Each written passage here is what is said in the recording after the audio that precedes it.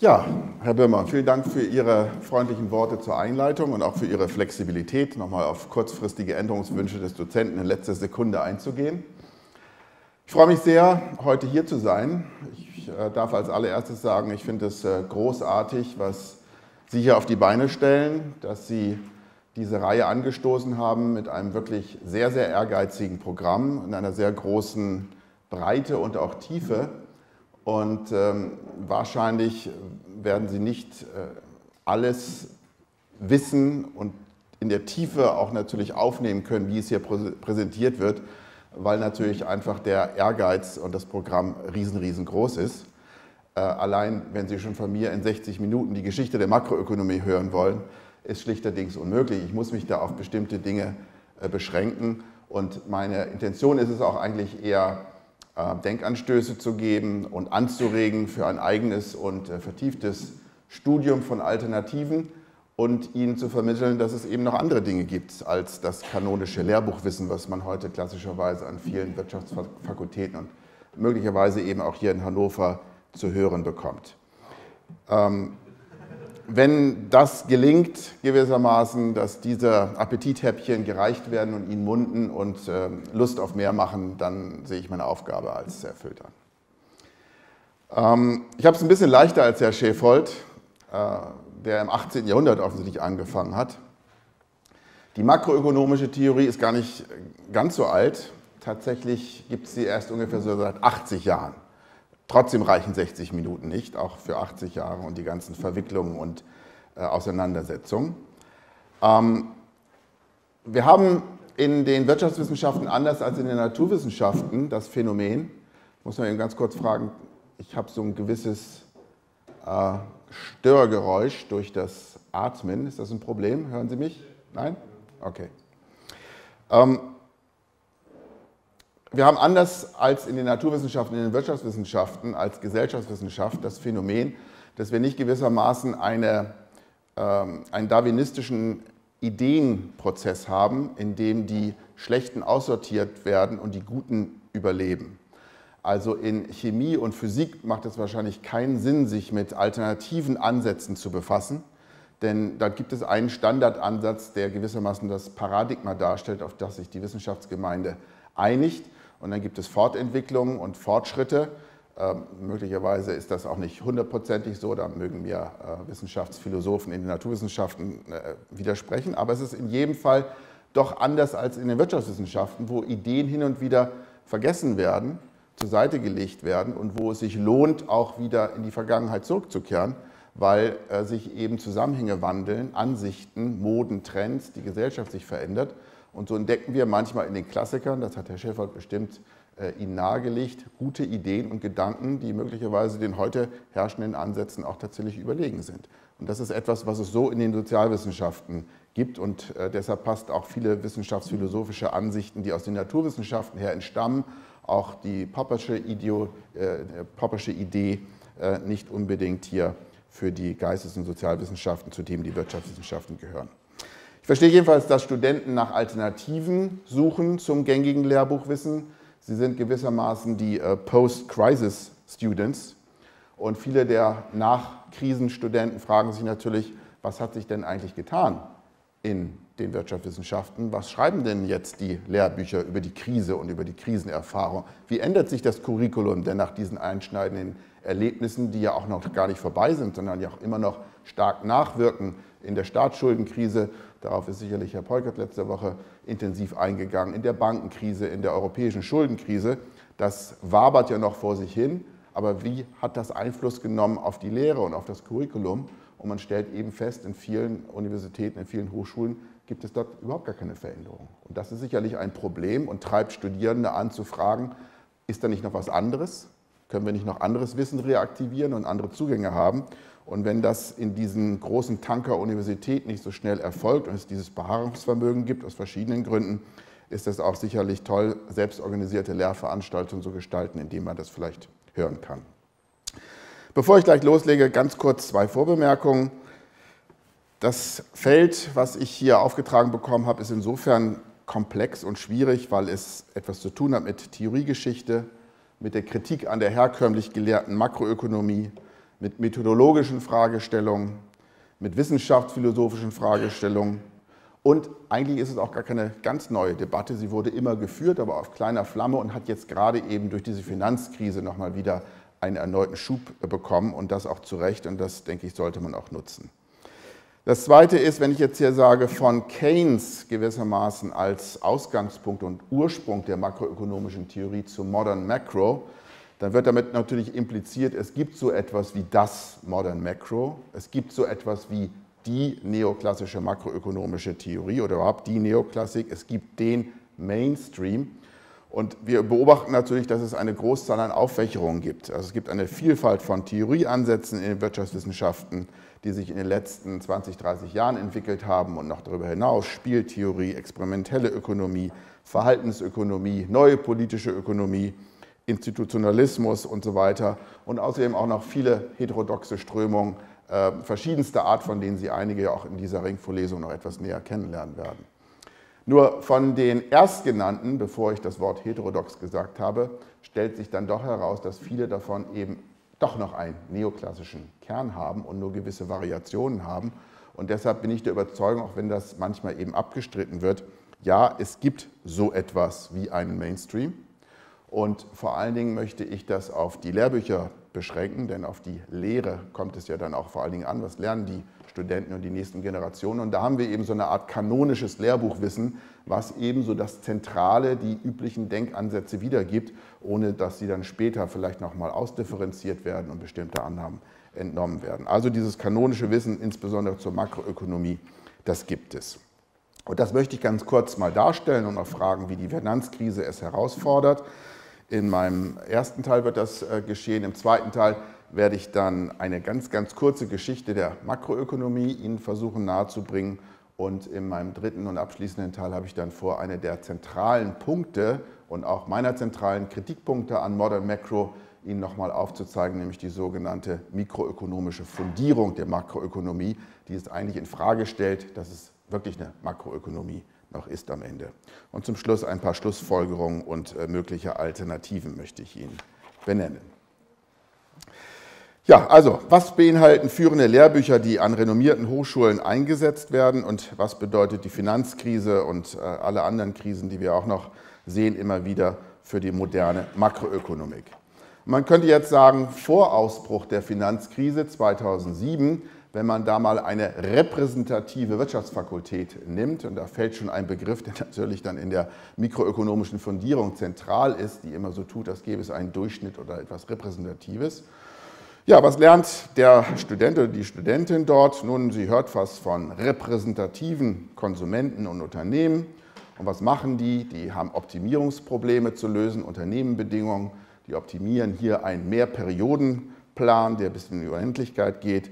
Sie verwenden dazu alle verfügbaren Informationen, die Sie besitzen. Ja, sogar das wirtschaftstheoretische Modell kennen diese rational agierenden Agenten und sind deshalb in der Lage, nach diesen neuesten Erkenntnissen der Wirtschaftstheorie tatsächlich auch ihr persönliches Leben und ihre persönlichen Entscheidungen als Konsumenten und als Unternehmen auch äh, zu optimieren. Sie sind nämlich sowieso perfekte, äh, ein perfekter Homo economicus, äh, rational wie ähm, ähm, äh, wie ein Vulkanier, äh, ohne Emotionen und jederzeit zu äh, hochgradig rationalen Entscheidungen in der Lage und deshalb haben sie auch kein Problem, die komplexesten ökonomischen Wirkungszusammenhänge äh, zu verstehen. Und falls es mal Schocks gibt, die natürlich nur von außen kommen können, exogene Schocks durch technologische Veränderungen oder politische Rahmenbedingungen, die sich verändern, dann kennen Sie diese Wahrscheinlichkeiten und können die in Ihre Pläne äh, integrieren, weil Sie eben äh, hier auch natürlich über die Wahrscheinlichkeiten und die Verteilung der Wahrscheinlichkeiten in der Lage sind. Der Konsument ist in diesem Bild der Souverän und die sogenannten willenlosen Erfüllungsgehilfen, das sind dann die Unternehmen, die die Pläne dieser Souveräne erfüllen. Was es überhaupt nicht gibt, und das haben Sie sicherlich bei Herrn Schäfer intensiv gehört, als er über die Klassiker gesprochen hat. Was es hier überhaupt nicht gibt, sind soziale Klassen, gesellschaftliche Schichten, wie in der klassischen politischen Ökonomie. Das spielt keine Rolle, dass Gruppen hier Interessen haben, unterschiedlichster Art und die miteinander dann auch möglicherweise ringen um äh, die Interessen entsprechend durchzusetzen, sondern wir haben hier natürlich Individuen und das ist eben auch diese Methodologie, die auf dem einzelnen Individuum aufbaut. Was lernt man noch oder lernte man im Jahr 2007 an einer solchen repräsentativen Wirtschaftsfakultät, nämlich dass diese repräsentativen Konsumenten, Unternehmen keine Koordinierungsfehler machen. Das äh, kann auch deshalb nicht passieren, weil sie auch eigentlich gar nicht zu koordinieren haben. Wenn es externe Effekte gibt, dann sind sie in der Lage, die perfekt zu internalisieren. Sie kennen Unsicherheiten, keine Unsicherheiten, keine fundamentalen Unsicherheiten, sondern eben nur Risiken, die man aber eben berechnen kann aufgrund von bestimmten Wahrscheinlichkeitsüberlegungen. Diese Unternehmen und auch die Konsumenten können nicht äh, bankrott geben, weil sie ein lebenslanges Einkommen haben, auf das sie bauen können. Und sie verhindern durch ihr rationales Verhalten und die Nutzung aller Informationen so etwas völlig Abwegiges, was es nie gibt, wie Finanzmarktblasen und Finanzmarktcrash. Noch heute äh, leugnet der Erfinder der Idee der äh, rationalen Finanzmärkte, Eugene Farmer, dass es sowas wie eine Finanzblase je gegeben hat oder geben kann. Das existiert selbst nach den jüngsten Ereignissen äh, aus Sicht dieser Ökonomen nicht. Ja, und sowas wie Unterbeschäftigung gibt es auch nicht. Die ist höchstens freiwillig. Und äh, hier haben wir natürlich einen großen Bruch mit der Realität, weil wenn wir das historisch angucken, dann müssen wir feststellen, Vollbeschäftigung ist historisch gesehen immer die Ausnahme gewesen und nie die Regel. Und selbst heute, wenn wir die neuen Zahlen gehört haben von der Bundesagentur für Arbeit, äh, die uns äh, sagt, wie stark die Beschäftigung steigt und die Arbeitslosigkeit zurückgeht, dann sagt man natürlich, das ist positiv zu beurteilen im Vergleich zu den hohen Zahlen, die wir in der Vergangenheit hatten. Aber wir haben selbst in Deutschland noch immer keine Vollbeschäftigung, weil ungefähr drei Millionen registrierten Arbeitslosen und viele, die nicht registriert sind, und ganz zu schweigen von den anderen europäischen Ländern, die extrem hohe Arbeitslosenquoten haben. Also eigentlich müsste man doch sagen, der Normalfall, der zu erklären ist, ist eine Situation mit Arbeitslosigkeit und nicht der Normalfall ist Vollbeschäftigung, was in diesen Modellen ja meistens als ähm, Normalfall, als Annahme postuliert wird. Wenn man sich mal ein sehr stark vor allem in Amerika verbreitetes makroökonomisches Lehrbuch äh, anguckt von Michael äh, Wickens aus 2008, Macroeconomic Theory, dann liest man ganz am Anfang in der Introduction folgendes und ich möchte es mal kurz vorlesen. Modern macroeconomics seeks to explain the aggregate economy using theories based on strong microeconomic foundations. Das ist der allererste Satz und da wird schon gewissermaßen das Programm äh, voll äh, bekannt gegeben. This is in contrast to the traditional Keynesian approach to macroeconomics, which is based on ad hoc theorizing about the relations between macroeconomic aggregates. Also hier wird dann auch gleich der Hauptkritikpunkt gegenüber den üblichen von Keynes und seinen Anhängern postulierten Modellen gebracht. Die hätten ja gar keine Begründung für ihre Verhaltensannahmen, die sind ad hoc, die fallen gewissermaßen aus der Luft. Und was fehlt, sind hier eben Verhaltens- fundierte verhaltenstheoretische Begründungen dafür, warum sich die Individuen so und so verhalten. Und dann wird hier behauptet, dass also äh, man mit Hilfe von DSGE-Models dann entsprechend kollektive Entscheidungen, wobei da frage ich mich, was sollen hier kollektive sein in diesem Zusammenhang, von rationalen Individuen hat. Ja? Rationale Individuen, kollektive Entscheidung, ein repräsentativer Haushalt, ein repräsentatives Unternehmen. Und die Vorstellung ist, wir haben ein permanentes Gleichgewicht und ökonomische Handlungen sind hier nichts anderes als Optimierungsaufgaben. Dann, dann habe ich mir mal das äh, Buch genommen und habe mal im Index ein bisschen geblättert. Hier ganz hinten. Bei U bin ich dann durchgegangen, ja, die verschiedenen Stichworte, die da sind. Und dann entdeckt man oder sucht man hier zwischen Uncovered Interest Parity und äh, Undermined Coefficients in dem Index irgendwie das Wort Unemployment vergeblich. Das taucht gar nicht auf. Das ist ein Lehrbuch, das führende Lehrbuch an amerikanischen Universitäten und es gibt keine Arbeitslosigkeit. Also die gibt es nicht in der Welt und die gibt es deshalb natürlich auch nicht in diesem Lehrbuch. Und da fragt man sich natürlich schon, wie relevant und wie äh, hilfreich solche Bücher sind. In der zweiten Auflage ist dieses Stichwort dann enthalten, aber es heißt immer noch nicht, dass sich dann dieses Lehrbuch um die Frage der Herkunft und der Bekämpfung von um Arbeitslosigkeit kümmert, sondern da wird eben auf den Arbeitsmarkt eingegangen und über, auf transitorische Effekte hier geachtet. Ja, und was man 2007 dann an der repräsentativen Wirtschaftsfakultät äh, nicht lernt als Studentin oder als Student, sind solche Dinge wie den Multiplikator, das Sparparadoxon, expansive Fiskalpolitik, die Rolle und Aufgabe des Staates, den gibt es nämlich meistens gar nicht. Und was es auch nicht gibt, ist Geld. Auch sehr interessant. Ja?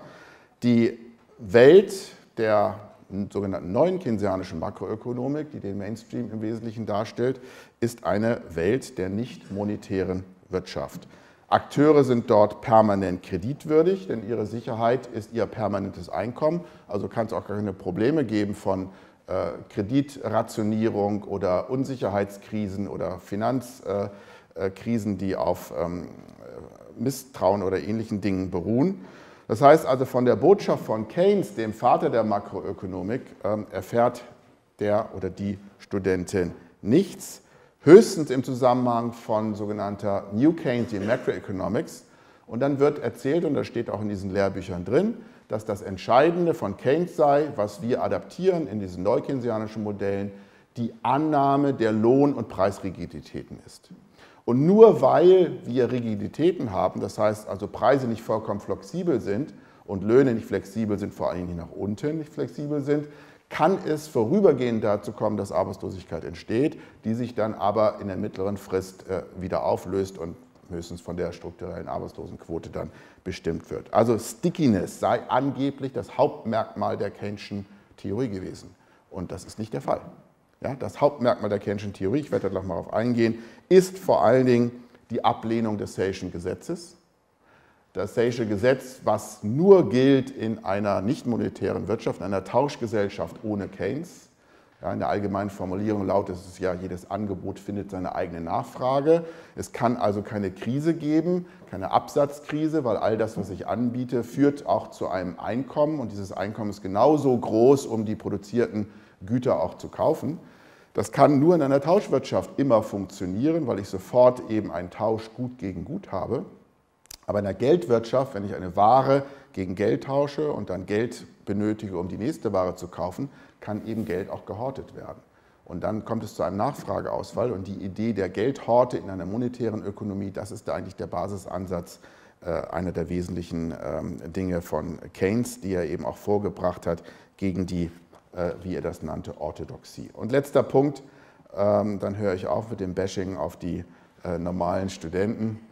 Ähm, ja, Dynamic Stochastic General Equilibrium Models, das ist ähm, das Brot, was man isst und verdaut. Das sind Schönwettermodelle, die nicht zur Krisenbehandlung eigentlich tauchen, sehr komplexe technische Computermodelle, die hohe mathematische Anforderungen stellen und auch natürlich dazu dienen, zu selektieren. Studenten, die nicht in der Lage sind, damit umzugehen, die können eben mit den Wirtschaftswissenschaften auch nichts anfangen und die werden aussortiert und die braucht man nicht, sondern man braucht eben diese formalisierten ähm, oder der Formalisierung fähigen Studenten. Und man könnte jetzt überspitzt sagen, der Zweck dieser DSGE-Models ist eigentlich nur die Ausbildung der nächsten Kohorte von Masterstudenten und Doktoranden, die dann wiederum die nächste Gruppe von Nachwuchsforschern ausbilden. Aber ihr Zweck auch in der Politikberatung für Zentralbanken oder Finanzministerien, die es mit Real-World-Problems äh, zu tun haben, der ist doch äh, limitiert. Also sie sind nicht relativ, nicht sehr brauchbar für die Praxis. Man könnte also heutzutage sagen, wozu braucht man Volkswirte? Um andere Volkswirte auszubilden, die dann wieder die nächste Generation von Volkswirten ausbringen. Aber ob das hier praktische Relevanz hat, kann man doch sehr in Frage stellen. So, jetzt schimpfe ich auf andere, nicht auf die Studenten, sondern auf die großen Koryphäen des Faches. Ähm, und wir kommen dann nach 2007 und 2008, als die Krise dann langsam virulent wurde, aber noch nicht unbedingt erkannt worden ist, zu ein paar Aussagen von führenden Ökonomen.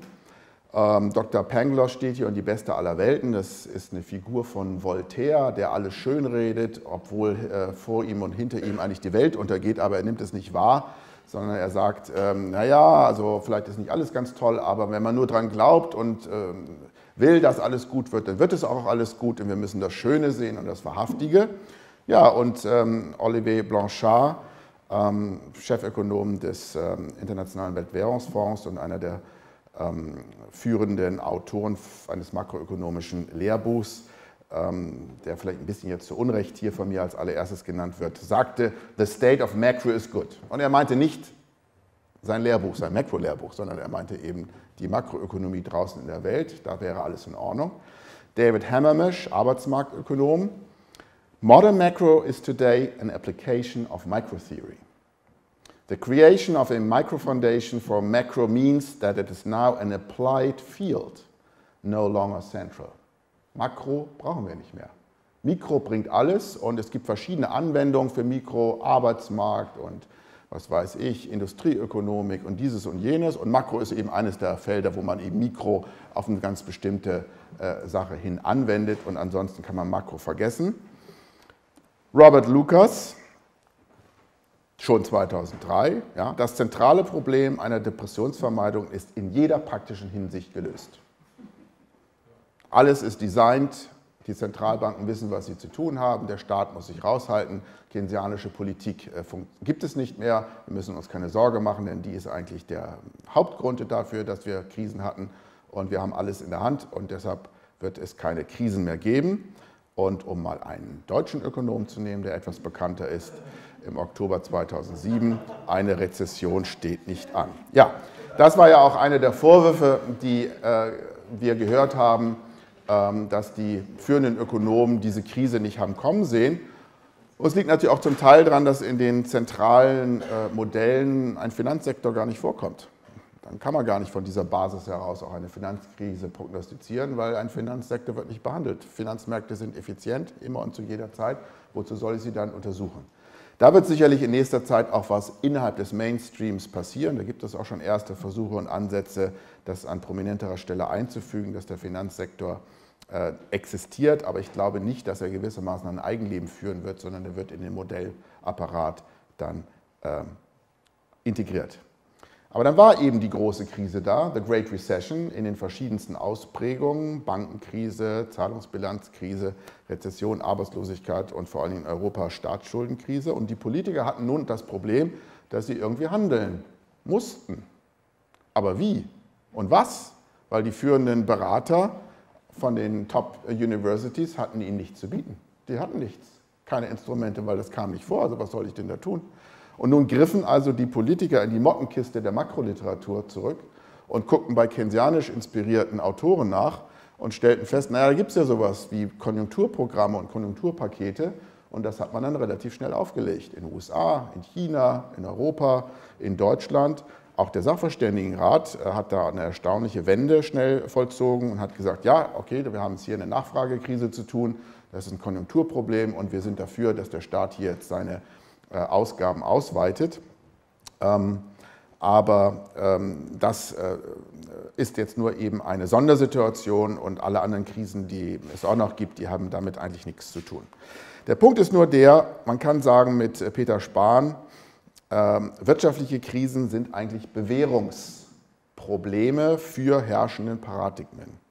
Da wird nämlich die Realitätstauglichkeit eines wissenschaftlichen Ansatzes plötzlich zum Thema und da hat man eben festgestellt und daher auch diese Beschäftigung mit diesem Thema, ähm, wo wir heute zusammenkommen, dass vielleicht die herrschenden Theorien nicht in der Lage sind, darauf einzugehen. Und jedes wirtschaftspolitische Assignment basiert letztendlich auch auf einem Erklärungsmodell. Und ähm, unser europäisches ähm, Modell mit der Europäischen Zentralbank unabhängig und eigentlich nur mit dem Auftrag versehen, die Preisniveaustabilisierung zu bringen, die basiert auf dem äh, monetaristisch-neuklassischen Assignment. Und deshalb haben wir auch so lange Probleme gehabt, bis der Draghi dann gesagt hat, wir werfen das über Bord und wir müssen jetzt Länder of Last Resort werden, weil das war eigentlich in dem Ansatzpunkt nicht vorgesehen. Und die vor allen Dingen deutschen ordnungspolitisch orientierten Ökonomen haben damit ihre großen Probleme, weil das eben nicht ihrem Lehrbuch-Assignment entspricht. Da begeht eben die Zentralbank derzeit eine Todsünde aus ihrer Sicht, ja, weil die Priorität ist nur bei der Preisstabilität und nichts anderes gilt. Trotzdem aber, ich bleibe bei der Kritik, wir haben hier äh, äh, die Entwicklung so gehabt, dass wir eine doch relativ äh, unglückliche Trennung bei Finanzmarktregulierung gehabt, die von der mikroökonomischen Seite bestimmt worden ist und der Geldpolitik, die von der makroökonomischen Seite her bestimmt worden ist und die Verzahnung fehlt. Deshalb auch teilweise unbrauchbare makroökonomische Modellierungen in der Politikberatung. Wie gesagt, die DSGI-Modelle, die dafür nicht so richtig tauglich sind, weil sie eben Krisen äh, im Wesentlichen nicht beinhalten. Und das hat dann eben zu der Frage geführt, sind wir auch in der Krise der Wirtschaftswissenschaften? Und äh, insbesondere Robert Skidelsky hat gesagt, it's a failure of ideas, den wir da äh, hinter haben und der dazu geführt hat, auch dass die Krise mit entstanden ist. Und deshalb müssen wir die Wirtschaftswissenschaften neu denken. Ich hatte ja als Begleitlektüre, ich bin gefragt worden, einen kurzen Text von Robert Skidelsky auch vorgeschlagen. Wenn Sie äh, da noch mal reinschauen, dann finden Sie da einige sehr gute Anregungen. Und ich finde Skidelsky sowieso einen sehr hörens- und lesenswerten äh, Autor, nicht nur, weil er eine sehr interessante Biografie über John Maynard Keynes geschrieben hat, sondern weil er jetzt auch bei dem Thema Teaching Economics, wie können wir Lehrbücher neu schreiben und was muss da rein, sehr aktiv ist. Und ich äh, kann vielleicht die Situation nutzen, Sie darauf hinzuweisen, es wird eine große Konferenz geben im November in Berlin, wo es um die Frage geht, wie können wir Lehrbücher neu gestalten, was können wir lernen aus der Krise, was müssen wir in der Lehre, in den Curriculum verändern, unter anderem mit ähm, dem Arbeitskreis Politische Ökonomie und Real World Economics. Und da wird Robert Skidelsky einer der Keynote-Speaker sein. Peter Bofinger wird auch kommen. Das ist, äh, glaube Mitte oder Ende November. Ich kann es gerne auch nochmal den Termin weiterleiten. Dann eine interessante Tagung in Berlin, zu der Sie gerne auch bei Interesse kommen können. Ja, soweit der Problemaufriss, die gewisse Widersprüchlichkeit zwischen dem, was gelehrt wird, was man hört und was man nicht hört und dem, was tatsächlich passiert und was zu tun ist und die Frage eben des äh, Tauglichkeitsansatzes der modernen makroökonomischen Theorie. Und jetzt will ich im zweiten Teil wirklich eine nur ganz, ganz, ganz, ganz, ganz kurze äh, Geschichte der Makroökonomie Ihnen liefern und äh, bieten. Bis in die 1930er Jahre gab es eigentlich gar keine Trennung zwischen Mikro und Makro. Also wenn Sie Hammermeschs Zitat von äh, eben noch in Erinnerung haben, dann ist es das, was Hammermesch sich auch vorstellt, dass man gewissermaßen vor das Jahr 1930 wieder zurückkehrt und diese Trennung wieder abschafft. Äh, es gab zwar schon erste Andeutungen in den Werken von Böhm-Barwerk, der so eine Mikrodynamik von der Makrodynamik unterschieden hat, aber tatsächlich ist erst durch die Weltwirtschaftskrise 1929 und dann Keynes Werk äh, Treatise on Money, Traktat über Geld, 1930 äh, eine, dort erstmal eine makroökonomische Analyse von Volkseinkommen, Beschäftigung Geld zum ersten Mal vorgenommen worden. Und Keynes formuliert dort eben diesen entscheidenden Satz, indem er sagt, es gibt keinen Grund zur Annahme, dass ein sich selbst überlassenes ökonomisches System immer zur Vollbeschäftigung tendiert. Es gibt keine implizite äh, Räumung des Arbeitsmarktes. Die existiert nicht. Und dann hat Ragnar Fritsch, der norwegische Ökonom, 1933 zum ersten Mal diesen Begriff Makroökonomie verwendet. Also wenn man das als Startpunkt nehmen will, dann ist also 1933 das Jahr, wo man zum ersten Mal sich bewusst gemacht hat, es gibt dann noch ein anderes Feld und das nennt man äh, Makroökonomie. Eingeführt worden ist es eigentlich, um Aggregate zu erfassen und zu beschreiben und das eben im Unterschied zum Entscheidungsverhalten von Individuen. Ja, das ist Gegenstand der Mikroökonomie und man meinte, dass man eben Aggregate anders analysieren muss, ihr Zusammenspiel, ihre Eigendynamik beschreiben muss und dass das nicht eben durch das Verhalten von Individuen äh, abgeleitet werden kann. Keynes mit seinem äh, Buch aus 36, der allgemeinen Theorie der Beschäftigung des Zinses und des Geldes, ist dann aber natürlich äh, für die Theorie der eigentliche Startschuss. Und Keynes hat deshalb dieses Buch geschrieben, weil er meinte, dass es nötig ist, eine allgemeine Theorie zu beschreiben oder zu schaffen, die sowohl das Funktionieren wie auch das Funktionsversagen des ökonomischen Systems erklärt. Und das finden wir eben in der heutigen neuen keynesianischen Makroökonomik, die den Mainstream darstellt, nicht, wo eben der Ausgang wieder das Gleichgewicht ist. Ja? Und Keynes sah eben, äh, dass das nicht generell der Fall ist, sondern dass man eben auch Ungleichsituationen, vor allen Dingen eben auf dem Arbeitsmarkt, beschreiben muss. Und das war gegen die damalige Orthodoxie gerichtet. Und das war eben die neoklassische Theorie, auch wenn Keynes sie die Klassiker nannte. Und deshalb sagt man zu Recht, das war eine keynesianische Revolution. Richtet, gerichtet im Wesentlichen gegen das Say'sche Gesetz in seiner neoklassischen Fassung und die, die These, dass Arbeitslosigkeit letztendlich immer nur eine Folge von zu hohen Reallöhnen ist. Er hat dann darauf hingewiesen, dass in Lohnverhandlungen nicht der Reallohn, sondern der Nominallohn äh, zur Debatte steht. Und wenn Nominallöhne fallen, dann muss man eben Kreislaufzusammenhänge betrachten. Äh, das hat auch natürlich Vorläufer gehabt. Er war nicht der Erste, der auf diese Kreislaufzusammenhänge hingewiesen ist, aber hat zu Recht gesagt, dass die damals herrschende Theorie mit ihrem partialanalytischen Ansatz des Arbeitsmarktes diese Wechselwirkungen der Aggregate ähm, nicht betrachtet. Deshalb hat also ein ökonomisches System immer die Gefahr einer sich beschleunigenden Destabilisierung und die neoklassische Rezeptur dann auf Lohnsenkungen zu setzen, verschlechtert möglicherweise die Lage, weil Löhne sind eben nicht nur ein Kostenfaktor, sie sind auch ein Nachfragefaktor. Und diese Janusköpfigkeit des Lohnes, Lohnes die äh, ist ein zentraler Punkt des keynesianischen Systems und die ist, ein, die ist dann verloren gegangen, dieser Nachfrageaspekt und dieser Einkommenseffekt, der dann dort entsteht. Also, Keynes war der festen Überzeugung, dass die konventionelle Theorie seiner damaligen Zeit an einem kompositorischen Fehlschluss leitet. Das heißt, Zusammenhänge, die auf der Mikroebene gelten, sind eben nicht unmittelbar übertragbar auf die Makroebene. Und deshalb so etwas wie die mikroökonomische Fundierung der Makrotheorie äh, hätte Keynes sicherlich äh, vollkommen abgelehnt, hat er abgelehnt. Viele der keynesianischen Ideen sind nicht neu. Es gab Vorläufer, Keynes war sich dessen bewusst, aber das Neue war eben hier die Art ihrer Kombination. Ich würde sagen, es sind äh, vielleicht fünf Punkte oder sechs Punkte, die die keynesianischen, äh, die zentralen Bausteine der keynesianischen äh, Theorie darstellen. Nämlich, wir müssen betrachten eine Geldwirtschaft und nicht eine reine Tauschwirtschaft. Sie fangen ja heute in jedem Mikroökonomiekurs natürlich mit einem Tauschmodell ohne Geld an, eine Barterökonomie. Die ganze Handelstheorie tut so, als gäbe es kein Geld. Ja, da werden, äh, wird Stahl gegen Brot getauscht ohne Geld.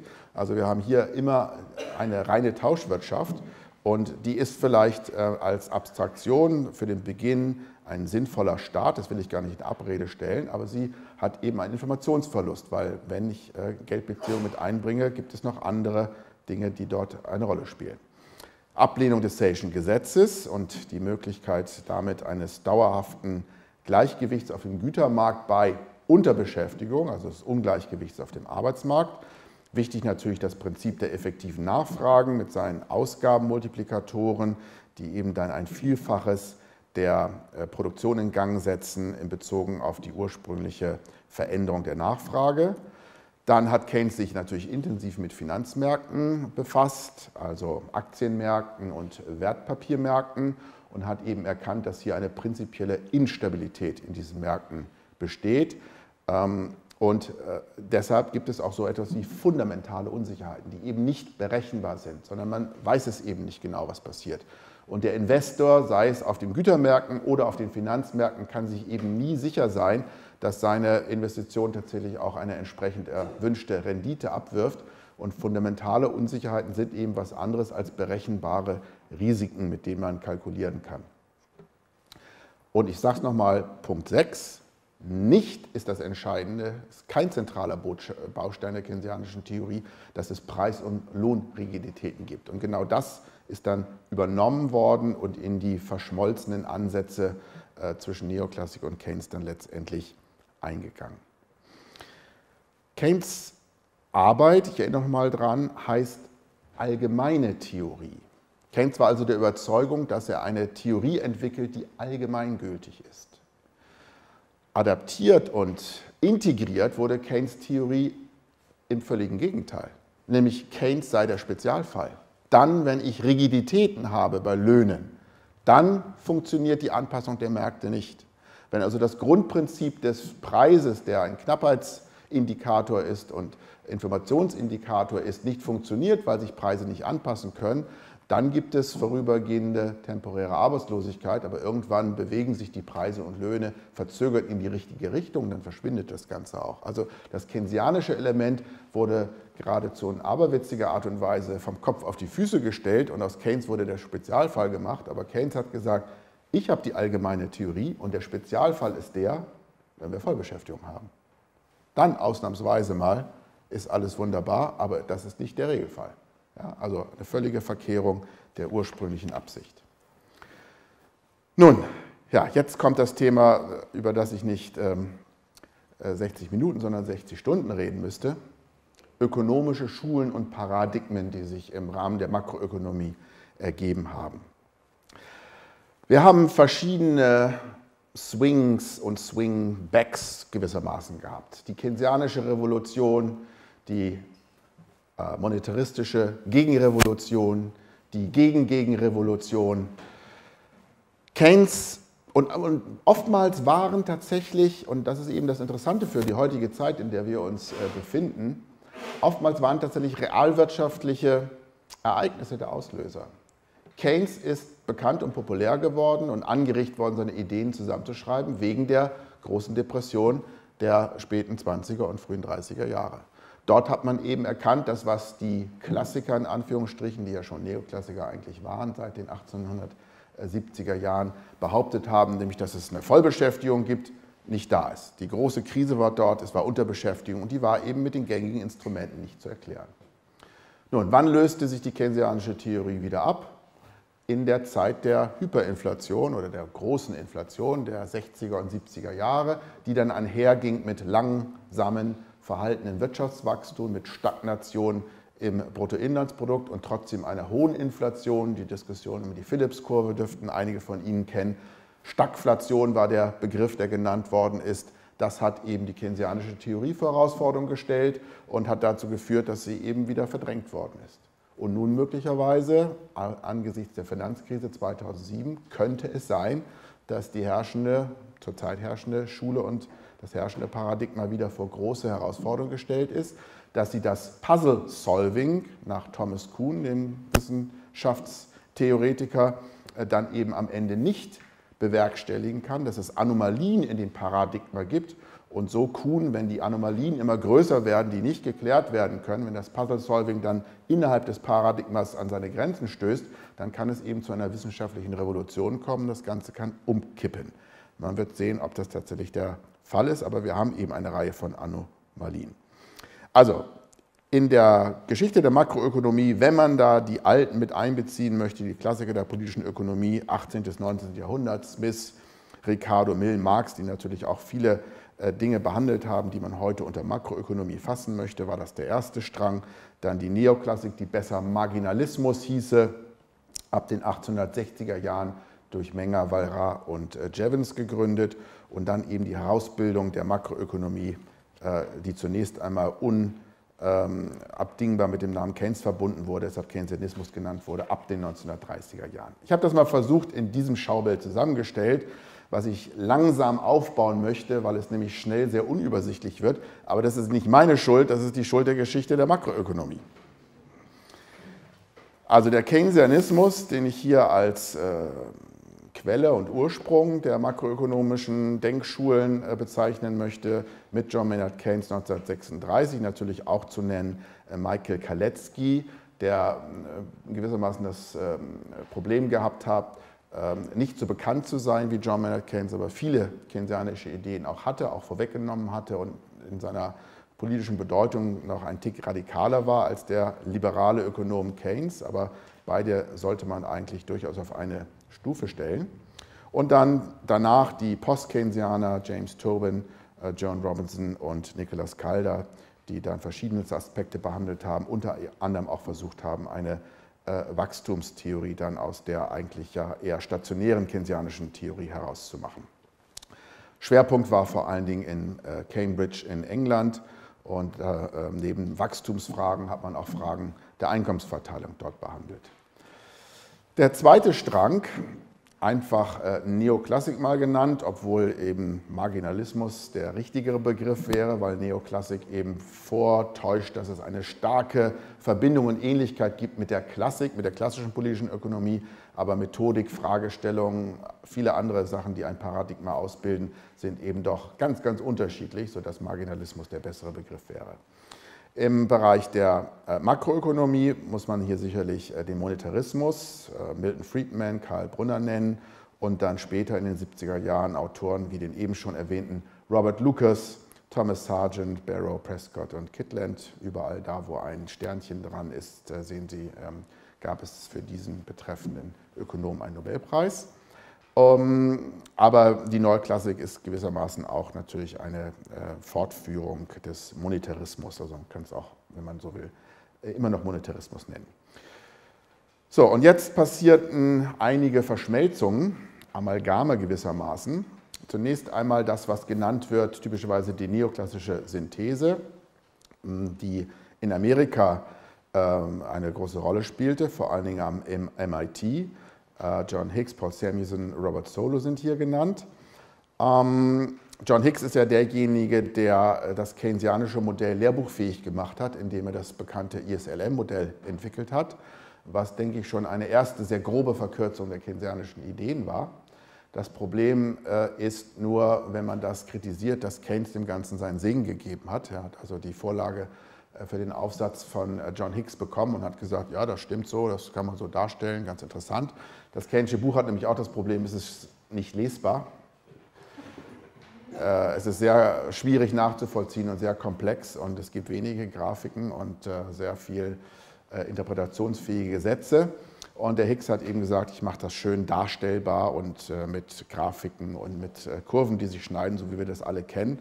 Und hat eben eine Reinterpretation der General Theory gemacht, im Rahmen eigentlich eines allgemeinen ähm, walrasianischen Gleichgewichts. Und das war dann auch das Einfallstor zur Inkorporierung der keynesianischen Theorie in die Neoklassik. Und man hat dann eben gesagt, naja, Keynes ist ein neoklassischer Ökonom der Starrheiten. Und das ist das Zentrale an der neoklassischen Synthese gewesen.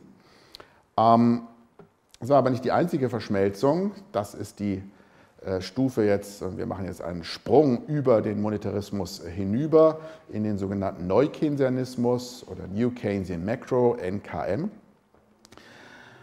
Und das Problem ist jetzt, was die Studenten natürlich immer wahnsinnig verwirrt, dass in der sogenannten neoklassischen Synthese, also der alten, der 40er und 50er Jahre, mehr Keynes als Neoklassik steckt, während in Neukeynesianismus trotz des Namens dort mehr Neoklassik als Keynes steckt. Sorry, die Namen habe ich auch nicht erfunden. Niemand weiß es genau, wer sie erfunden hat. Sie sind irgendwann äh, entstanden. Ähm, aber ähm, ich glaube, man kann sehr schnell zeigen und sagen, dass im Neukeynesianismus vor allen Dingen hier höchstens auf die kurze Frist eingegangen wird und gesagt hat, da haben wir eben keynesianische Elemente, Rigiditäten, Starrheiten, die eben auch staatliches Handeln legitimieren, weil man eben nicht ad ultimo warten kann, bis sich ein Problem von selbst äh, auflöst, sondern der Staat kann eben den Schritt ins Gleichgewicht beschleunigen durch eine adäquate Geld- und Fiskalpolitik oder vielleicht auch Arbeitsmarktpolitik. Äh, aber in der langen Frist, dann kommt alles wieder in ein Gleichgewicht heraus und wir haben sowas wie eine natürliche Arbeitslosenquote, gegen die das System tendiert. Und da haben wir natürlich dann, wenn die Preise nicht mehr starr sind, wie in der kurzen Frist, in der langen Frist, dann letztendlich wiederum ein äh, monetaristisches, neoklassisches Gleichgewicht. Deshalb ist also doch meines Erachtens in diesem sogenannten Neukeynesianismus mehr Neoklassik enthalten, äh, trotz eben des Namens, den wir hier haben. Ja, ein paar Dinge habe ich schon genannt. Ähm, die Akteure verhalten sich äh, rational, Märkte werden im Grunde genommen permanent geräumt, Arbeitslosigkeit ist immer freiwillig und äh, statt adaptiver Erwartungen wurden dann rationale Erwartungen eingeführt. Das heißt, die Marktteilnehmer haben im Durchschnitt die korrekten Erwartungen darüber, wie sich in Zukunft alle Marktpreise entwickeln werden und in der ähm, gewissermaßen Hardcore-Fassung, die eben eher die neuklassische Elemente hat, wird davon ausgegangen, dass Wirtschaftspolitik nutzlos ist, allenfalls, wenn die Teilnehmer überrascht werden können. Was aber eigentlich nicht möglich ist, weil sie ja rationale Erwartungen und perfekte Voraussicht haben, sind, sie, sind selbst Überraschungen praktisch nicht möglich und deshalb sind diese in der Regel auch äh, schädlich. Die Neukeynesianer, wie gesagt, trotz des Namens, gehen ebenfalls von rationalen Erwartungen aus. Ja, das ist etwas, was Keynes sicherlich völlig wesensfremd gewesen wäre. Sie akzeptieren aber, dass es so etwas gibt wie Marktunvollkommenheiten, unvollkommene Konkurrenz, Preisstarrheiten und auch asymmetrisch verteilte Informationen. Für diese Entdeckungen, Entwicklungen und Ergänzungen des Modells gab es dann jeweils Nobelpreise für verschiedene Autoren. Joseph Stiglitz zum Beispiel, denke ich hier zum Beispiel, äh, aber auch für andere, Phelps und so weiter. Und insofern kann also dieses Marktversagen eine Legitimation sein für den Staat zu handeln, wenn es Arbeitslosigkeit, wenn es Krisen gibt, weil die Rückkehr ins Gleichgewicht einfach zu lange Zeit braucht. Ja, man schiebt also gewissermaßen das System äh, an, aber trotzdem steht hier die Herrschaft des Homo economicus äh, äh, ist wieder dargestellt. Ja, und dann gibt es noch diese schöne Zweiteilung, die möchte ich Ihnen nicht vorenthalten, weil sich das, äh, ob zufällig oder absichtlich, in Amerika in den großen führenden wirtschaftswissenschaftlichen Fakultäten so konzentriert, dass diejenigen, die eher aus der monetaristisch-neuklassischen Schule kommen, an den großen Seen beheimatet sind, in Universitäten wie Chicago, Minnesota und so weiter. Deshalb nennt man die Vertreter dieser Richtung auch die Süßwasserökonomen und die anderen, die sitzen an den äh, Ivy League-Universitäten, die entweder am Atlantik oder am Pazifik sitzen und deshalb heißen die Neukeynesianer die Salzwasserökonomen. Und das finde ich eigentlich auch viel besser, weil die Namen hier irreführend sind und das sind klare geografische Zuordnungen, oder? Passt doch ganz gut, kann man sich sehr gut merken. Ja? Süßwasser versus Salzwasser. Kann man sich überlegen, wo man lieber baden möchte.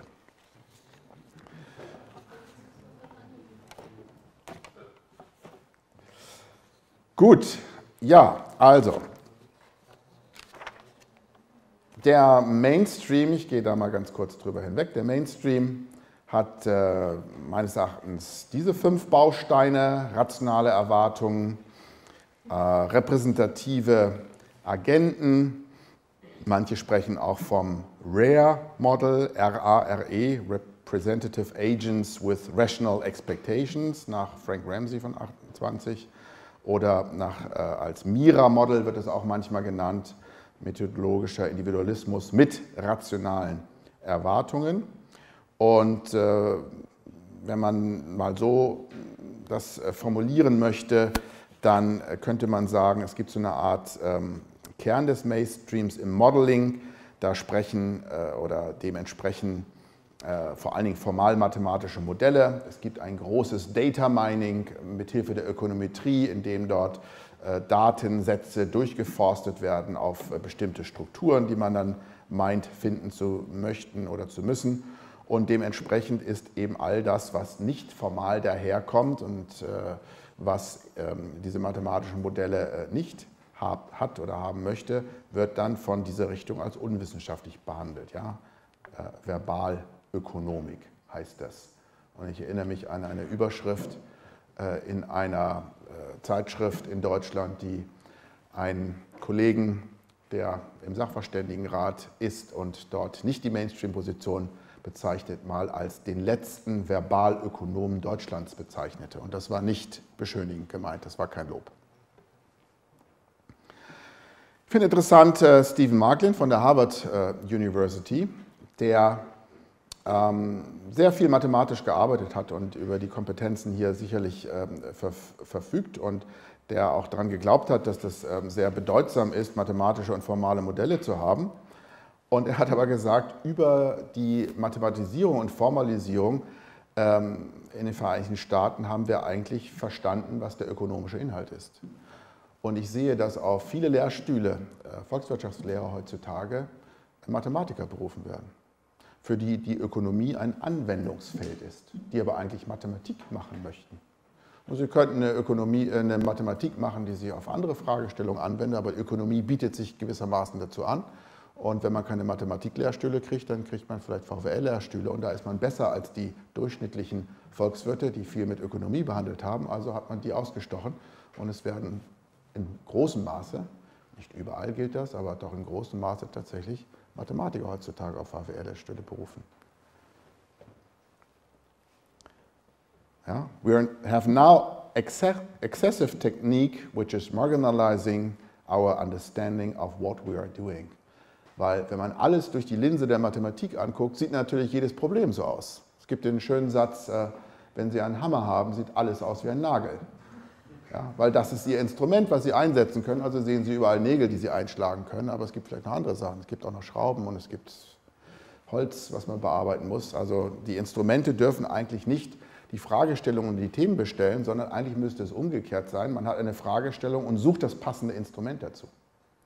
Und ich glaube, da ist vieles in, gerade in die andere Richtung äh, gegangen. Also es gab eine gewisse Verselbstständigung. Und wenn heutzutage der Fortschritt in der Volkswirtschaftslehre bedeutet, eine Verbesserung in mathematischen und ökonometrischen Modellen zu erreichen, dann ist es ein sehr fragwürdiger Begriff von Fortschritt, zu dem es viele Probleme und Fragestellungen gibt, zu denen die Ökonomie heutzutage immer noch gar nichts sagen kann.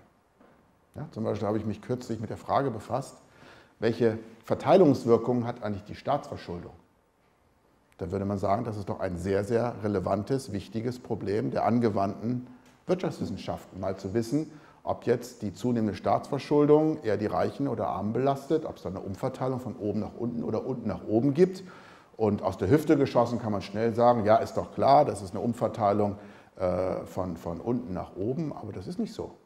Wenn man sich die theoretische Literatur zu der Fragestellung anguckt und ein paar logische Gedanken dazu macht, stellt man fest, man weiß es nicht.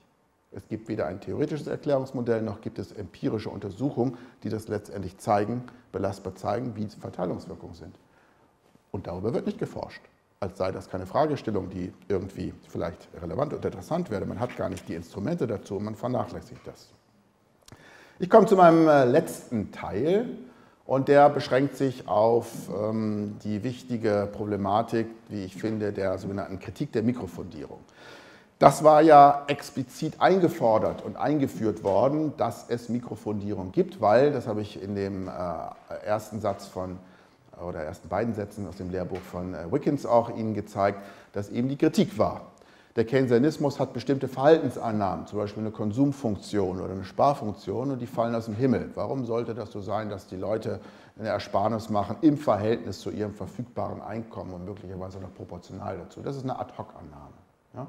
Und da fehlt eben die mikroökonomische Fundierung, nämlich rationales Verhalten, Maximierung, äh, Utility, Maximization, was auch immer dahinter stehen könnte.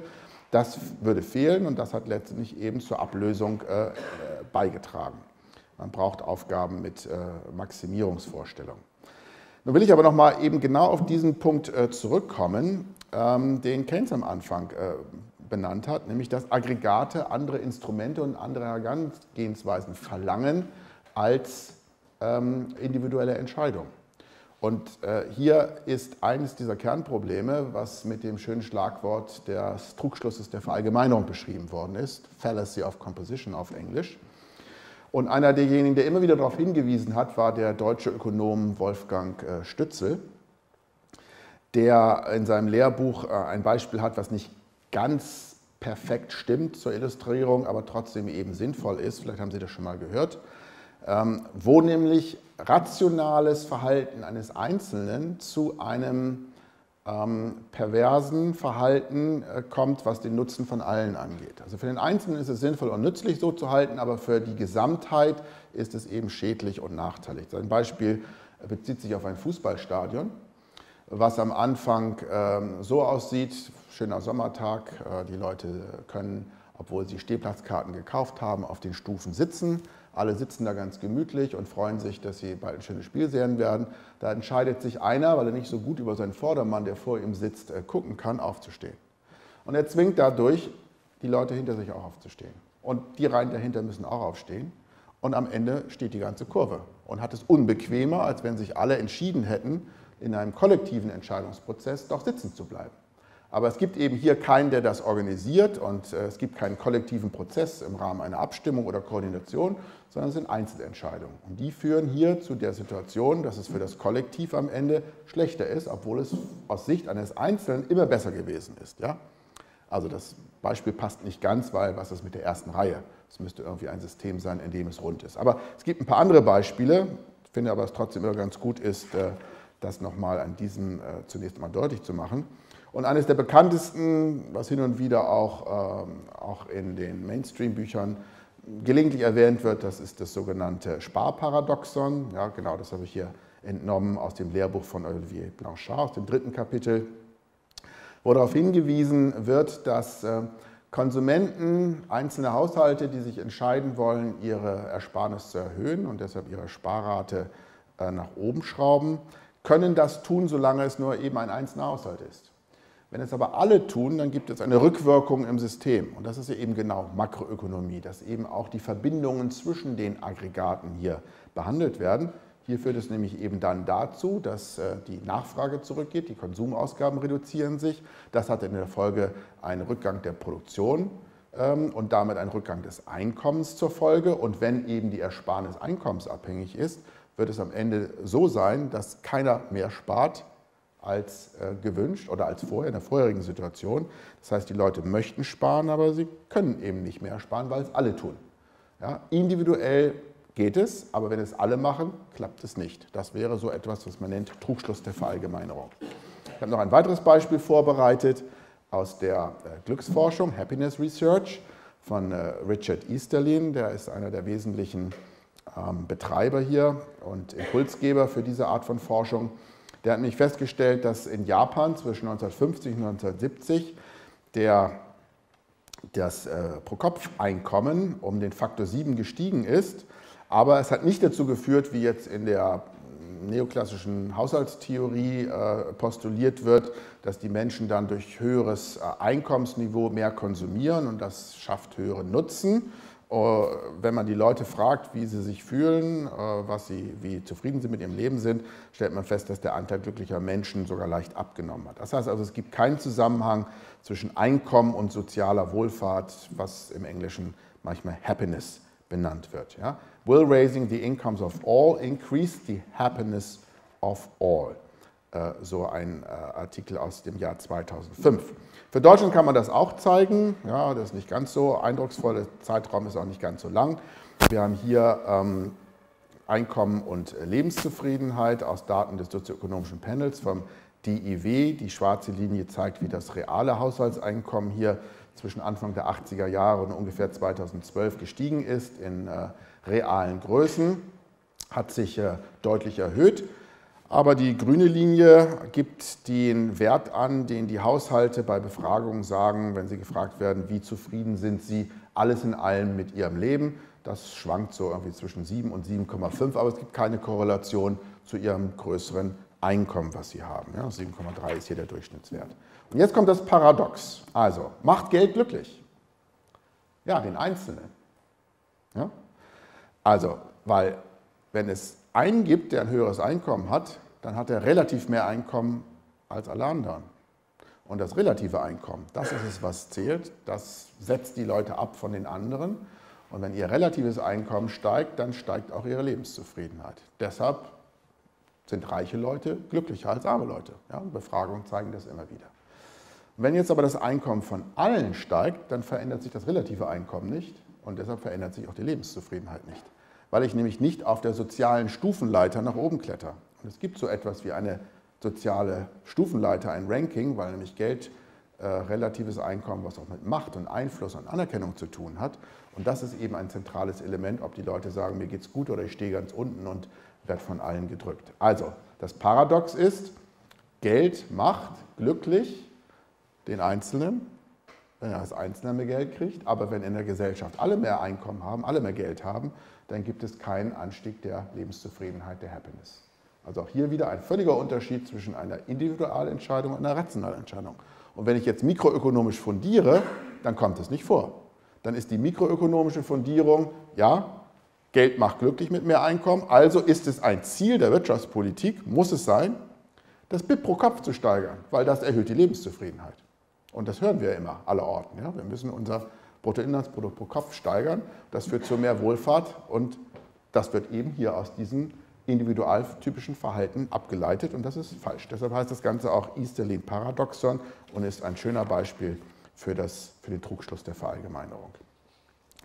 Es gibt eine ganze Menge mehr von diesen Paradoxien. Die meisten Studenten hören nie in ihrem Leben von irgendeinem davon. Schuldenparadoxon. Ganz akut. Ja? Ähm, Richard Koo, ein, ein äh, asiatischer Ökonom, weist äh, auf diese Balance Sheet Recession hin. Wir haben Verschuldung äh, aller Orten, Staatsverschuldung, Unternehmen sind verschuldet, teilweise Haushalten. Wenn die jetzt alle versuchen, gleichzeitig ihre Balances, also ihre Unternehmensbilanzen zu regulieren und die Haushalte sich entschulden und der Staat sich entschuldet, wird das nicht funktionieren. Das geht nicht. Ein einzelnes Unternehmen kann sich gewissermaßen sanieren, indem es ein Sparprogramm durchführt. Das ist betriebswirtschaftliche Logik, ja, aber, und das macht, sollte eigentlich den Unterschied zwischen einem Volks- und einem Betriebswirten ausmachen, dass er in der Lage ist, vom Aggregat zu denken und nicht vom Individualfall. Ja? Unternehmensberater, die die Politik empfehlen, die haben natürlich immer als Sinnbild das Unternehmen und sagen, ja, ein guter Staatenlenker, der muss seinen Staat genauso führen, wie ein Unternehmer das tut. Ja? Und deshalb treten oftmals Unternehmer in Wahlen an und sagen, dass sie die besten Staatenlenker sind. Das stimmt aber nicht, weil ein Staat ist was völlig anderes als ein Unternehmen und die Masse der Unternehmen ist was anderes als ein Einzelunternehmen. Wenn sich alle Unternehmen entschulden, dann führt es dazu, dass eben Produktion und Einkommen zurückgehen und die Schuldenquoten bleiben gleich, weil jedes Unternehmen hat eine geringe Einnahme und äh, selbst wenn es einen Teil der Schulden abbaut, wird die Relation zwischen Verschuldung und äh, Einkommen äh, und auch in der Bilanz wird eben entsprechend gleich bleiben. Das sieht man übrigens bei Griechenland ja auch. Ja? Liquiditätsparadoxon ist etwas ähnliches. Es gibt das Bildungsparadoxon, das heißt, wenn einer sich verbessert in der Bildung gegenüber allen anderen, hat er bessere Arbeitsplatzchancen und wird ein höheres Einkommen kriegen. Wenn alle ihre Bildungsdauer und ihre Bildungsinputs verzehnfachen, verändert sich auch nichts, weil die Zahl der Arbeitsplätze wächst ja nicht. Und ich habe gewissermaßen hier in der Konkurrenz um die wenigen Arbeitsplätze dann eben entsprechend keinen Vorteil. Kalecki ist jemand, der sehr stark darauf hingewiesen hat. Es gibt den berühmten Spruch, Capitalists get what they spend. Äh, und das heißt eben hier entscheidet das Ausgabenverhalten der Unternehmer gleichzeitig auch über ihre Einkommen, auch eine gewisse Paradoxie äh, im Bereich des Kostenparadoxon und so weiter. Ähm, ein letzter netter kleiner Punkt, den äh, ich wirklich sehr schön fand, ich habe das in der Zeitung gefunden, ein Bericht über ganz, anderes, ganz andere Wissenschaft, Biologie. Ähm, Potsdamer Institut für Klimaforschung, glaube ich, steht dahinter, die ähm, sich Gedanken gemacht haben, ob Ameisen intelligent sind. Und äh, die haben festgestellt, dass Ameisen äh, überhaupt gar keine individuelle Intelligenz haben. Keine Ameise begreift, was dort passiert. Sie hat keinen Überblick, was ihr Staat macht und wie der aufgebaut ist und wie sie Futter finden muss und warum sie eine Futter- oder eine Verteidigungsameise ist oder eine Eierzuchtameise. Das weiß keine einzelne Ameise. Ja? Trotzdem gibt es aber so etwas wie kollektive Intelligenz. Das heißt, diese ganz komplexe Ordnung, die äh, die haben, wie die ihre Futter finden und dann Geruchsstoffe hinterlassen und andere können dem nachlaufen und wie die sich organisieren, wenn es Veränderungen ihrer Einflusssphären gibt durch Störungen von außen und so weiter und so fort.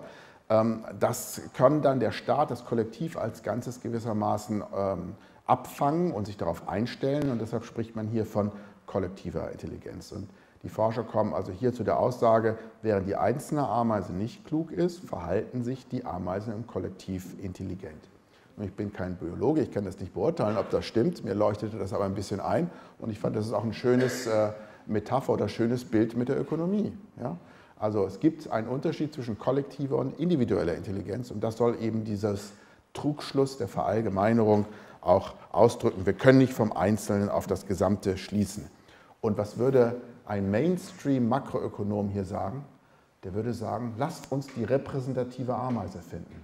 RA, Representative Ant, ja, statt Representative Agent. Die muss es ja geben, denn ansonsten hätten wir gar keine Möglichkeit, die Intelligenz und die Organisationsfähigkeit, die Koordinationsprobleme, die so ein komplexes Wesen hat, äh, zu bestimmen. Das müssen wir aus den Einzelfallentscheidungen, aus den einzelnen Verhaltensannahmen, äh, äh, Verhaltensbeobachtungen her ableiten. Und ich glaube, das macht wenig Sinn. Zweiter Punkt, und da glaube ich, werde ich jetzt so langsam ein bisschen beschleunigen müssen. Ja. Ähm, und vielleicht hat auch Herr Schäfer letzte Woche da schon ein bisschen was dazu gesagt. Äh, die Makroökonomie der Neoklassik hat das große Problem, dass sie mit einer sogenannten äh, makroökonomischen Produktionsfunktion arbeiten muss, die sie herleitet aus der mikroökonomischen Produktionsfunktion, der sogenannten partiellen Produktionsfunktion. Und die dort ähm, abgeleiteten Erkenntnisse, zum Beispiel, dass der Lohn dem Grenzprodukt der Arbeit entspricht und dass überhaupt die Grenzproduktivitätstheorie hier entscheidend ist zur Bestimmung von Einkommen für äh, Kapital und Arbeit, ähm, überträgt man nun äh, von einem einzelnen Sektor auf die gesamte Ökonomie, man aggregiert. Und das ist ein logischer Fehler, der dort hinterlaufen ist, ein Problem, was im Rahmen der sogenannten Cambridge-Cambridge-Kapitalkontroverse in den 60er, 70er Jahren intensiv diskutiert worden ist und worüber aber heute die äh, Lehrbücher den Mantel des Schweigens ausbreiten. obwohl klar ist, dass die Seite, die die Grenzproduktivitätstheorie der Neoklassik verteidigt hat, Samuelson, Solo, am Ende der Diskussion eingestanden hat, dass sie einen logischen Fehler begangen haben. Ja, die haben gewissermaßen die Waffen gestreckt und haben gesagt, ihr aus dem anderen Cambridge, England, wo die Postkeynesianer herkommen, Sraffa zum Beispiel, der den Anschluss dazu gegeben hat, aber viele andere, die in der Debatte aktiv waren, Pasinetti zum Beispiel, habt recht. Ja? Es ist eine Unmöglichkeit, äh, Kapital im Aggregat zu ähm, äh, bestimmen, denn Kapital ist eine Werkgröße und hier habe ich das Problem, dass die Preise der Kapitalgüter und die Profitrate simultan bestimmt werden müssen. Und das ist hier nicht möglich, weil ich hier ein zweistufiges Verfahren in der Klassik habe. Äh, da mache ich einen äh, äh, logischen Denkfehler und die Rigorosität, mit der sich die Neoklassiker normalerweise rühmen, dass sie vielleicht nicht relevante Fragen behandeln, dass sie viele Annahmen haben, aber dass sie immer präzise und rigoros sind, die ist hier eindeutig verletzt worden. Das heißt, hier können wir Ergebnisse aus der Mikrotheorie nicht auf die Makroökonomie übertragen. Und hier dieser Zirkelschluss zeigt, der entsteht, dass wir oftmals Aggregationsprobleme haben. Es gehen nämlich hier Informationen verloren. Gut. Ja, im nächsten Teil hätte ich noch ein bisschen ein paar Takte gesagt zur Theoriereduktion. Da müsste man aber etwas länger ausholen. Es geht hier im Wesentlichen um die Frage, kann ich überhaupt von äh, der Makrotheorie nach unten auf eine Mikroeinheit äh, reduzieren?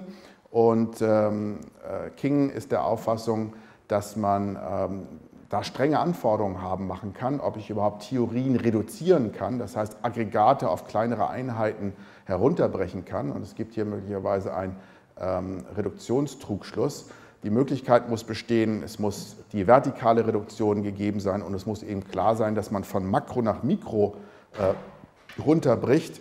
Man könnte das hier wie links gesehen sich so vorstellen, ja, ich habe hier ähm, oben soziale Gruppen, da, äh, drunter ist die nächste Ebene, auf die ich das dann herunter produzieren kann. Das heißt, die obere Schicht ist jeweils aus den darunter liegenden zusammengesetzt und lässt sich auf diese reduzieren. Also da sind Lebewesen, Lebewesen bestehen aus Zellen, Zellen aus Molekülen und so weiter. Letztendlich besteht alles als Elementarteilchen. Aber macht das Sinn zu sagen, ich habe eine Theorie sozialer Gruppen, die letztendlich bestimmt wird oder die gebildet wird oder die analog betrachtet werden kann, indem ich eine Theorie über Elementarteilchen habe? Und genauso ist es bei der Makroökonomie äh, sehr unwahrscheinlich, dass ich genau solche ökonomisch-sozialen Konstrukte, die ja Denkkonstrukte oftmals sind in der Makroökonomie, die ich gar nicht direkt beobachten kann, sondern nur approximativ messen kann mit sehr vielen Annahmen, die will ich jetzt reduzieren auf Individuen, auf deren Verhalten und dahinter steht da die Psychologie und die Biologie und die Zellen und die Moleküle, die Atome, am Ende auch die Elementarteilchen. Ist das wirklich so? Warum bricht eigentlich die Reduzierung auf der Ebene der Mikroökonomie ab? Und tatsächlich, wenn man feststellt, gibt es, anders als oft behauptet, eine Menge von Ad-hoc-Annahmen auf der Ebene der Mikrotheorie, sodass man sagen muss, auch die Standard-Mikrofundierung ist ad hoc. Und das war ja der ursprüngliche Vorwurf gegenüber Keynes, weshalb man die Mikrotheorie entwickelt hat. Man hat eigentlich eine Pseudo-Mikrofundierung. Ich will zu meinen Schlussfolgerungen und möglichen Alternativen äh, kommen. Was kann man machen, was sollte man machen? Nun, es gibt vier Varianten, die aus dieser Kritik heraus entstehen könnten. Wickens, den ich am Anfang vorgestellt habe, der Schreiber dieses Lehrbuch, äh, hat sich äh, gegen die Kritik in einem Aufsatz in 2011 geäußert und andere auch mehr. Und er hat gesagt, das Ganze ist ein Missverständnis, die Kritiker haben überhaupt nichts verstanden.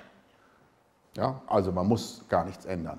Übrigens nicht nur die Amerikaner meinen das, auch die äh, deutschen Kollegen.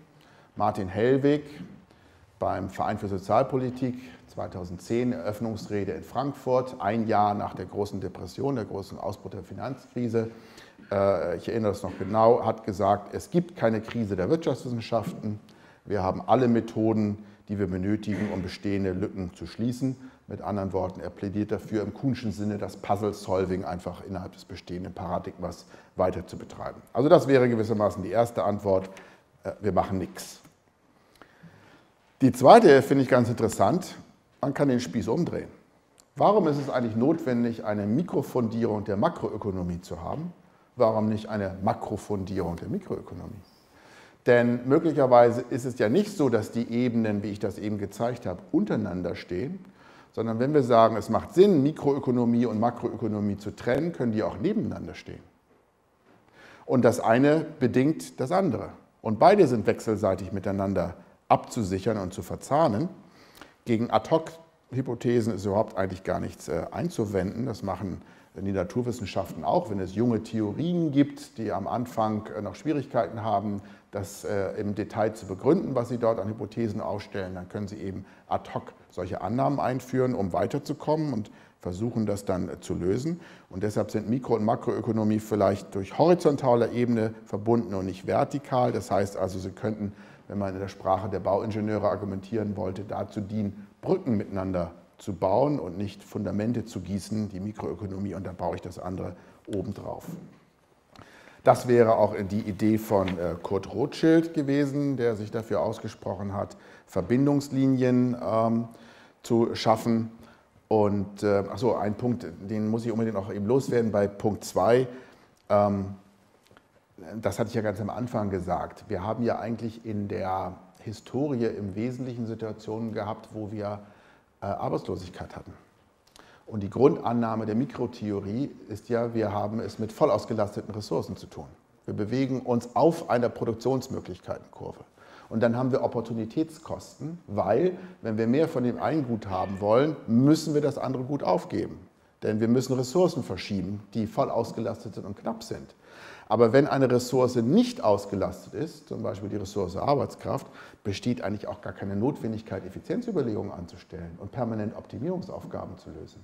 Und das ist eigentlich die Conditio sine qua non der Makroökonomie, Optimieren unter Nebenbedingungen, weil wir ein Effizienzproblem haben, ein Knappheitsproblem. Das ist das Zentrale. Alles wird durch die Linse der Knappheit betrachtet. Aber wenn wir idle resources haben, nicht ausgelastete Ressourcen, sind diese Effizienzüberlegungen vielleicht immer noch mit interessant, aber sie sind nicht mehr das A und O der ganzen Geschichte. Ja? Also vollkommene Konkurrenz auf dem Arbeitsmarkt gibt es eigentlich nur dann, wenn wir Vollbeschäftigung haben. Also diese beiden Dinge miteinander zu verbinden, äh, darüber habe ich schon ein bisschen was gesagt. Und die vierte Möglichkeit ist gewissermaßen, wir sorgen für eine überlegene, eine bessere Fundierung. Coländer und andere haben sich dafür ausgesprochen, verschiedene Arten von Akteuren einzubeziehen, nicht nur die repräsentativen, sondern heterogene Akteure, die unterschiedliche Interesse haben dynamische Prozesse mit Nichtlinearitäten. Das ist natürlich sehr komplexe Mathematik, die dann schnell entsteht. Äh, von der Idee des einen äh, eindeutigen und stabilen Gleichgewichtes abzugehen und multiple Gleichgewichtsbildung loszulassen. Ein paar andere Dinge noch auch. Bounded Rationality, auch ein alter Gedanke von Herbert Simon. Es ist nicht alles perfekt. Es gibt Satisficing, also äh, Näherungslösungen, die auch eben zufriedenstellend sind. In jedem Fall, und damit möchte ich schließen, ich bin niemand, der jetzt ein, eine grundsätzliche Verurteilung der Neoklassik, das dem Wort redet ähm, und alles dort in Bausch und Bogen verdammt. Es gibt äh, gute Gründe und es gibt schlaue Leute, die sich mit solchen Sachen äh, auseinandersetzen. Aber ich glaube eben, sie sind nicht das Ende der Welt der Erkenntnis, sondern es gibt daneben noch andere Zugänge. Und die können sehr hilfreich sein und die werden verschüttet und werden nicht genutzt. Und deshalb finde ich das so großartig, dass die Studierenden für Pluralität an setzen und nicht sagen, es muss jetzt diesen einen Ansatz geben, der ist allen überlegen. Welches der beste Ansatz ist, wissen wir wahrscheinlich gar nicht. Ja? Das wäre ein Imperialismus, wenn wir diesen einen Ansatz als den allgemein Seligmachenden ansehen, sondern ich glaube, dass wissenschaftliche Erkenntnis eben dann kommt, wenn wir verschiedene Zugänge und verschiedene Methoden und verschiedene Ansätze zulassen und akzeptieren und versuchen eben das Beste daraus zu holen. Vielleicht müssen auf manche Probleme andere Modelle und andere Fragestellungen und andere Paradigmen angewendet werden als auf andere Fragestellungen. Und deshalb äh, schließe ich genau damit, dass ich das, was Sie vorhin gesagt haben, dass es fast ein Jahr her ist, dass dieser äh, Aufruf äh, gekommen ist, der internationale, ähm, da kann ich wirklich nur sagen, äh, Hut ab und in dem Sinne sollten wir weitergehen. Vielen Dank und ich freue mich auf Ihre Fragen.